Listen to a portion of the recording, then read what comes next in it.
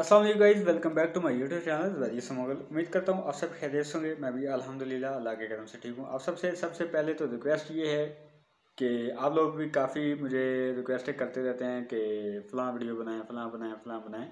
तो आज मैं आप सबसे पहले रिक्वेस्ट ये कर कर रहूँगा कि मेरे चैनल को सब्सक्राइब कीजिएगा और लाइक एंड शेयर ज़रूर कीजिएगा इस वीडियो को। ये वीडियो बहुत इन्फॉर्मेटिव होने वाली है और काफ़ी लोगों के, काफ़ी दोस्तों के इसरार करने पे ये मैं वीडियो बना रहा हूँ और काफ़ी इन्फॉर्मेटिव वीडियो है जो कि जिस हिस्ट्री का हमें नहीं पता जिसमें पाकिस्तानी, बंगाली और इंडियन हैं जिनको इस चीज़ का मतलब बहुत कम नॉलेज है। उसके, उस, उनके बारे में ये वीडियो है। वीडियो को स्टार्ट करने से पहले मैं आपको बता दूँ कि ये टाइटल खैर आपने पढ़ भी लिया होगा। मजीद मैं आपको बता देता हूँ थंबनेल से भी आपने देख लिया होगा। ये उन्नीस सौ इकहत्तर के रिलेटेड ये वीडियो है जहाँ से बांग्लादेश एक मतलब कि कंट्री निकल रहा है और वो एक अलहदा हो रहा है हमसे। तो सबसे पहले तो हम इसकी तरफ़ चलते हैं टाइटल की तरफ़। India Pakistan nineteen seventy war basic ये जो इंडिया और पाकिस्तान की उस वक्त लड़ाई हुई थी, इसमें बांग्लादेश जो है, वो एक अलहदा मुल्क बना था तो इसमें इंडिया का क्या क्या किरदार है? तो बेसिक ये जो वीडियो है, ये वीडियो सर दरो हाँ दारो रावत ये इस तरह का कोई चैनल का नेम है, मुझे इनके वो लिखा हुआ अभी आई थिंक हिंदी में है। तो इस वीडियो का और इनके चैनल का जो लिंक है वो मेरे डिस्क्रिप्शन में मिल जाएगा तो आप जाके विज़िट कर सकते हैं और चैनल को सब्सक्राइब कर सकते हैं।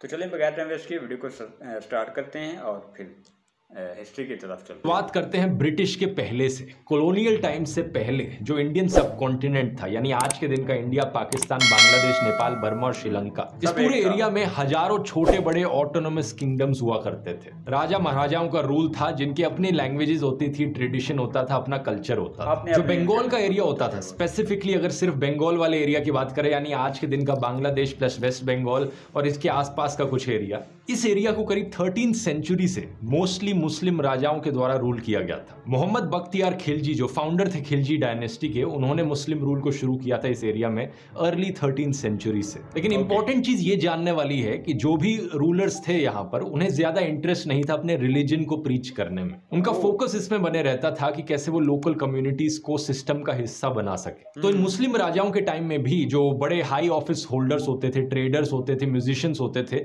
वो अलग अलग रिलीजियस बैकग्राउंड और ट्रेडिशन से आते थे। बेसिकली कहा जाए हिंदुइज्म और इस्लाम के बीच में जो को एग्जिस्टेंस थी और इंटरमिंगलिंग थी वो इस एरिया में बहुत देखी गई। इसकी वजह से जो कट्टरवाद था एक्सट्रीमिज्म था वो काफ़ी हद तक कंट्रोल में रहा। समय में आगे चले तो साल 1757 में ईस्ट इंडिया कंपनी इस एरिया को टेक ओवर कर लेती है जिसको मैंने डिटेल में इस वीडियो में समझाया है। जिसके बाद 1947 तक ब्रिटिश रूल रहता है और फिर हमें देखने को मिलता है पार्टीशन इंडिया और पाकिस्तान के बीच।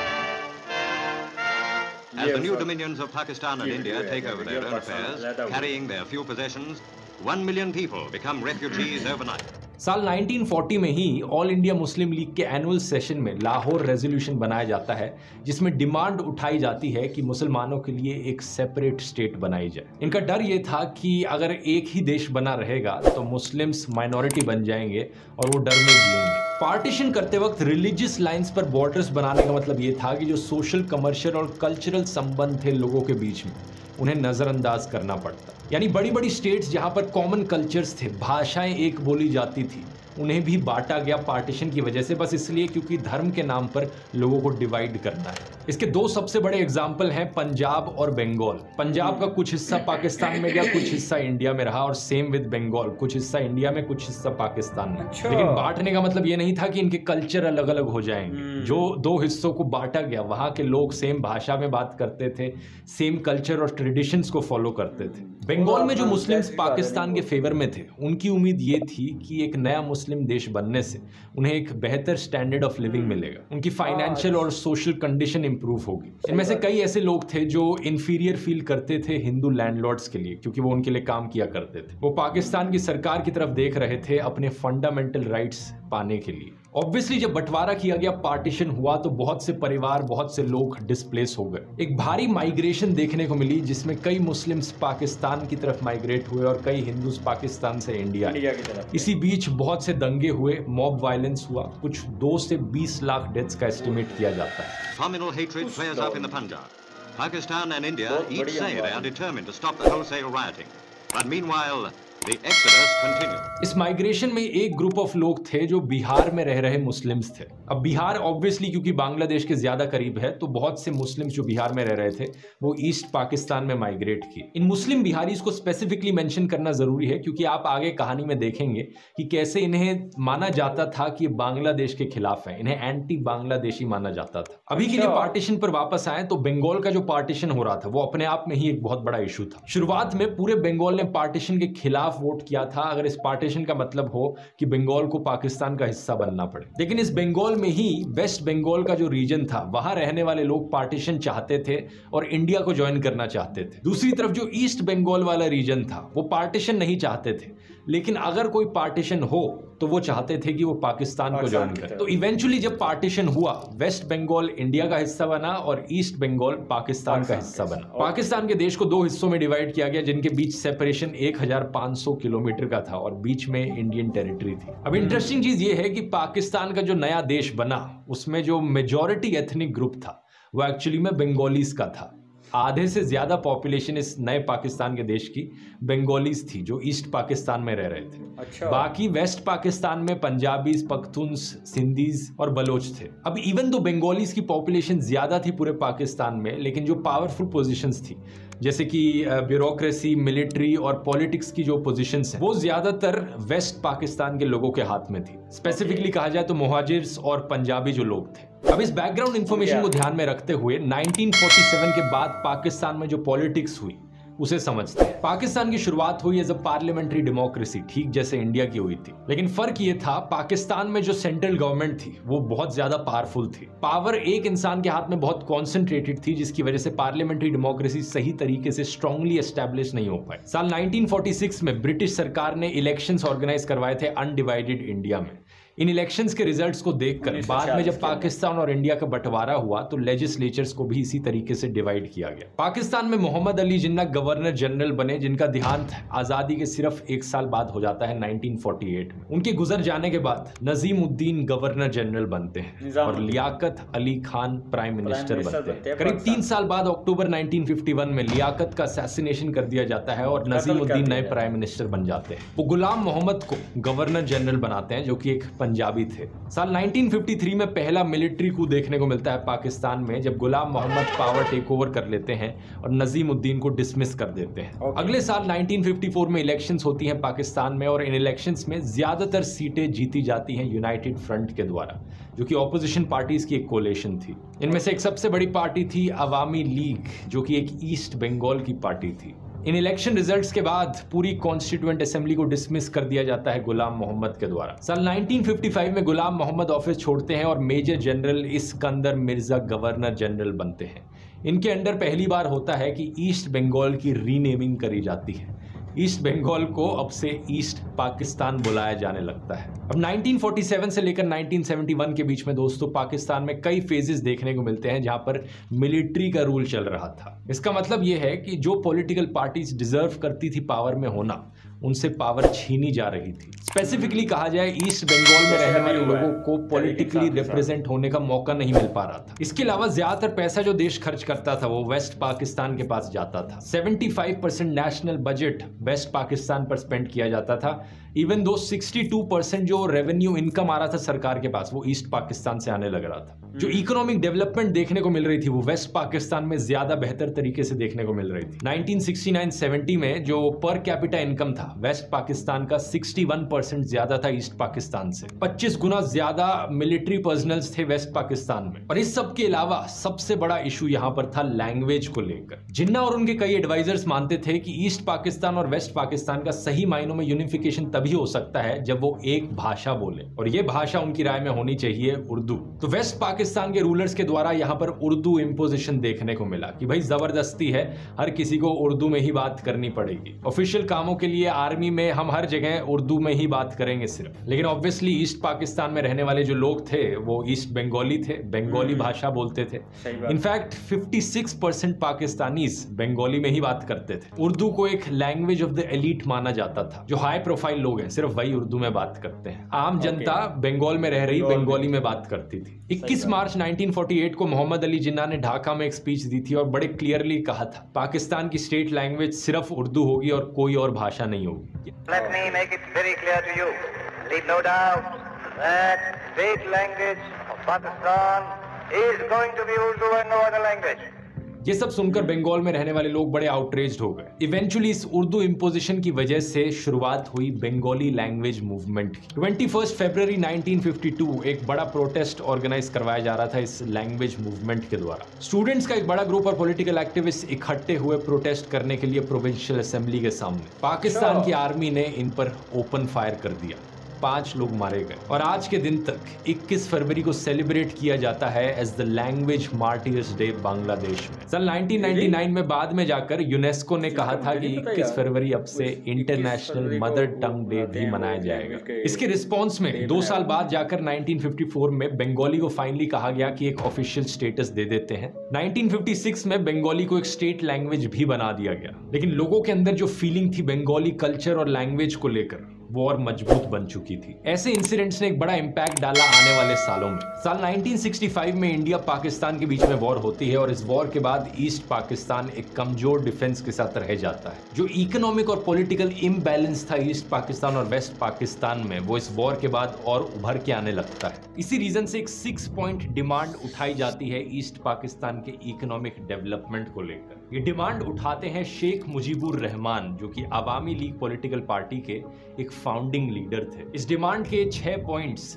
देश हिला देने वाले होते हैं। सबसे पहला पॉइंट ही इसमें लिखा गया था कि पाकिस्तान को एक फेडरेशन स्टेट बनाया जाए और जो ईस्ट पाकिस्तान का रीजन है उसे और ज़्यादा ऑटोनॉमी दी जाए। Okay. जो रिसोर्सेज हैं ईस्ट पाकिस्तान के अंदर वो ईस्ट पाकिस्तान की सरकार को दिए जाए। दो सेपरेट करेंसीज हों पाकिस्तान में एक वेस्ट पाकिस्तान के लिए एक ईस्ट पाकिस्तान के लिए। ईस्ट पाकिस्तान के अपने इंडिपेंडेंट फॉरेन रिजर्व्स हो। इनफैक्ट एक सेपरेट मिलिट्री फोर्स भी हो। मतलब ये मांगे कुछ ऐसी हैं कि मानो कि ईस्ट पाकिस्तान को एक अपना अलग ही देश सा बना दिया जाए। ये सुनकर ऑब्वियसली वेस्ट पाकिस्तान की सरकार बिल्कुल भी खुश नहीं होती। सारी डिमांड्स को रिजेक्ट कर दिया जाता है और इनफैक्ट वेस्ट पाकिस्तान की सरकार कहती है कि इस तरीके की डिमांड्स उठाना एक सेपरेटिस्ट मांग है। देश के खिलाफ जाना हुआ ये देश को बांटने की बात करने जैसा हुआ। इसी के चलते 19 जून 1968 को उस वक्त पाकिस्तान में अयूब खान की सरकार थी वो शेख मुजीबुर रहमान को अरेस्ट कर लेती। साथ में. चौंतीस और बंगाली सिविल और मिलिट्री ऑफिसर्स को अरेस्ट किया जाता है पाकिस्तान के खिलाफ कंस्पिरेसी रचने के लिए। इन पर सेडिशन का केस लगाया जाता है। इस केस को पॉपुलरली बुलाया जाता है Agartala conspiracy case general Ayub Khan का कहना था कि शेख मुजीब और उनके साथी इंडियन गवर्नमेंट के साथ अगरतला में कोलैबोरेट कर रहे हैं जिससे कि वो एक आज़ाद बांग्लादेश बना पाए। अगरतला त्रिपुरा में है अगर आप भूल गए हो तो। अब इस पॉइंट ऑफ़ टाइम तक शेख मुजीबुर रहमान बड़े पॉपुलर पॉलिटिकल लीडर बन चुके थे। बंगाली लोगों की आवाज़ थे वो। ईस्ट पाकिस्तान में रहने वाले बंगाली लोगों को जो भी अत्याचार डिस्क्रिमिनेशन और इनइक्वालिटी सहनी पड़ रही थी वो आवामी लीग और शेख मुजीबुर में ही अपनी उम्मीद ढूंढते थे। तो उनके अरेस्ट होने के बाद लोग सड़कों पर उतर आए। भारी प्रोटेस्ट देखने को मिले। इन्हीं प्रोटेस्ट के बीच एक शेख मुजीबुर के साथ ही सर्जेंट जहारुल्ला हक जब ये जेल में बंद थे इन्हें एक प्रिजन गार्ड के द्वारा मार दिया जाता है। ये सुनकर लोगों में और गुस्सा पनपता है। मानो लोग रेवोल्यूशन करने को तैयार हों। जनरल आयूब खान इस सिचुएशन को मद्देनजर रखते हुए 22 फरवरी 1969 को शेख मुजीबुर रहमान को जेल से रिहा कर देते हैं और जो अगरतला केस उन पर लगाया गया था उसे विड्रॉ कर लिया जाता है। लेकिन इस पॉइंट तक डेमोन्स्ट्रेशंस प्रोटेस्ट और लेबर स्ट्राइक्स इस हद तक बढ़ चुकी थी कि आयूब खान को खुद रिजाइन करना पड़ता है 1969 में। यहाँ पर याद रखिए कि अच्छा। जनरल आयूब खान ने अपने हाथों में सत्ता ली थी एक मिलिट्री कू के ज़रिए। बेसिकली पाकिस्तान में उन्होंने पिछले 10 सालों से मिलिट्री डिक्टेटरशिप सी बना रखी थी। खुद रिजाइन करने के बाद वो अपने सक्सेसर को अपॉइंट करते हैं जनरल याहिया खान और जनरल याहिया खान प्रॉमिस करते हैं कि वो पाकिस्तान में पहली जनरल इलेक्शंस करवाएँगे।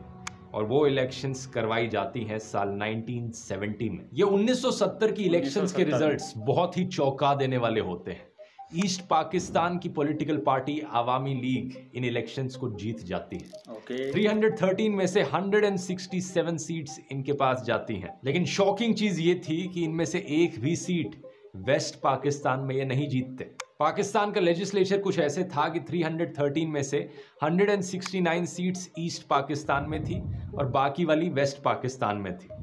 तो आवामी लीग ने 313 में से 167 जीती यानी ईस्ट पाकिस्तान में ऑलमोस्ट हर सीट जीत ली okay. लेकिन वेस्ट पाकिस्तान में एक भी सीट नहीं जीती। नहीं जी वेस्ट पाकिस्तान में पाकिस्तान पीपल्स पार्टी पीपीपी ने 88 सीट्स जीती और इस पीपीपी पार्टी ने ईस्ट पाकिस्तान में एक भी सीट नहीं जीती। ये शॉकिंग रिजल्ट्स दिखाते हैं कि जो दो हिस्से थे पाकिस्तान के उनके बीच में दरार कितनी गहरी हो चुकी थी। अभी इस पाकिस्तान में लोगों की पॉपुलेशन ज़्यादा थी तो सीटें भी ज़्यादा थी।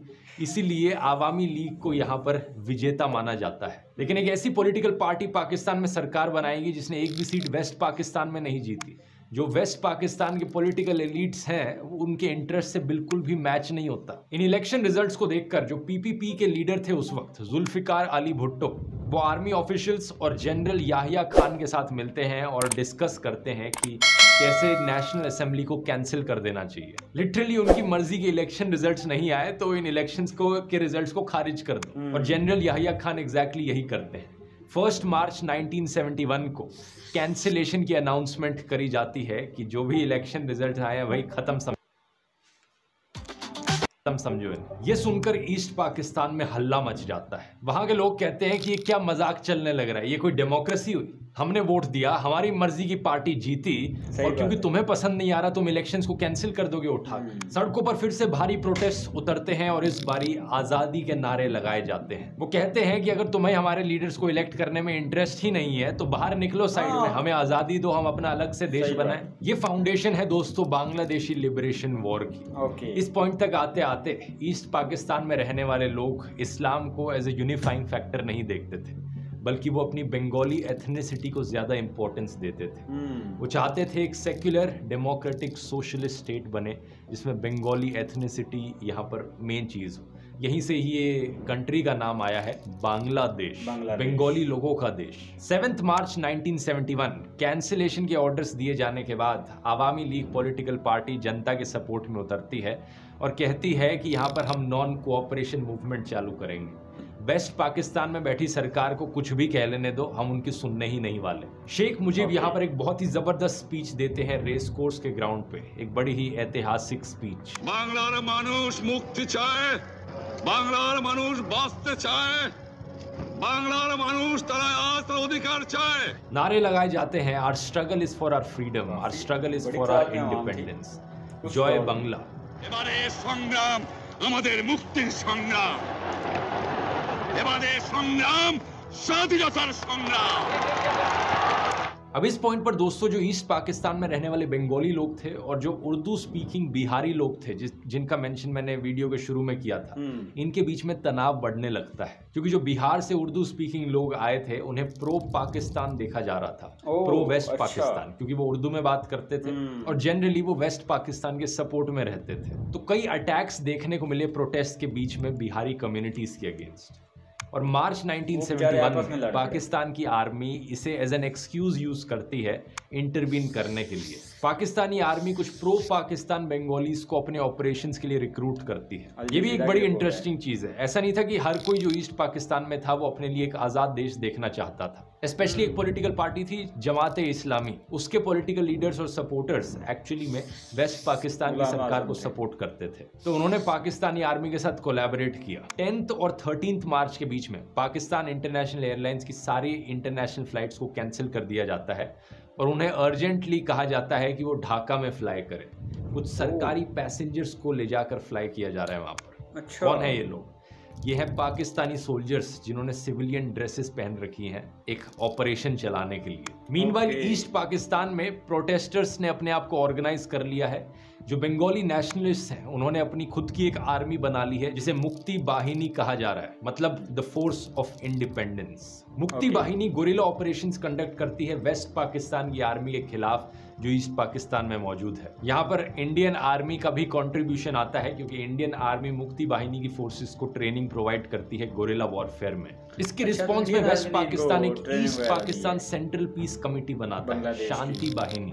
बड़ा ही आयरॉनिक नाम है क्योंकि शांति वाहिनी ढेर सारे वॉर क्राइम्स करती है। हज़ारों सिविलियंस को मारा जाता है औरतों पर अत्याचार होते हैं। और स्पेसिफिकली इंटेलेक्चुअल जो लोग हैं उन्हें टारगेट करके मारा जाता है।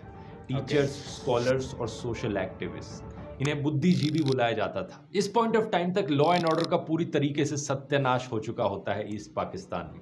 बंगालीज ने